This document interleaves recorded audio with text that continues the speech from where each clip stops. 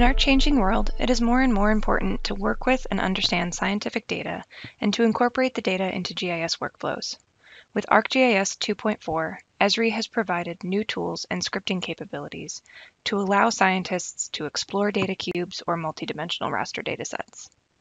Esri's cloud raster format has been extended to support multidimensional data for easy access to storing and sharing multidimensional data locally or in the cloud. You can add multidimensional information to a Mosaic dataset using the new Build Multidimensional Info tool, and you can transpose or re-index a multidimensional dataset with the Build Multidimensional Transpose tool. ArcPy's raster object now supports multidimensional raster datasets, and several new ArcPy functions and methods have been added to the ArcPy API to allow for scripting with multidimensional raster analysis.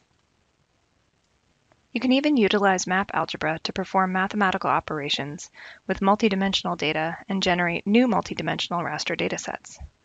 And you can work directly with raster functions, which have been extended to support multidimensional raster processing. Now let's take a look at a demonstration of sea surface temperature analysis in ArcGIS Pro 2.4. The newly extended cloud raster format and the ability to transpose multidimensional rasters allows users to quickly access data from hundreds or thousands of rasters over a dimension such as time.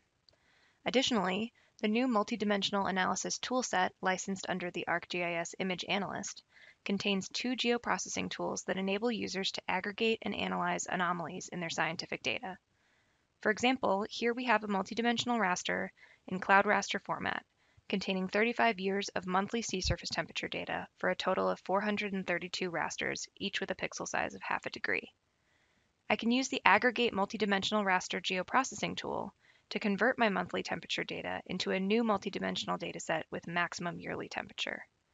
The result is a multidimensional raster with 35 rasters showing the maximum yearly temperature. This is interesting, but as a climate scientist, what I'm really looking for is information about ocean temperatures that are significantly different from the average over my entire dataset.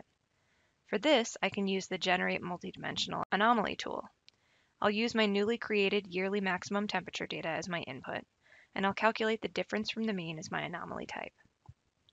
The result of this tool is a new multidimensional raster where each slice is a raster showing where in the world we experienced higher or lower than average ocean temperatures. If I use the time slider to browse the anomaly data, I'll notice some areas where pixels in red indicate much higher than average temperatures. To explore further this particular feature off the coast of South America, I can quickly generate a temporal profile of my yearly sea surface temperature data.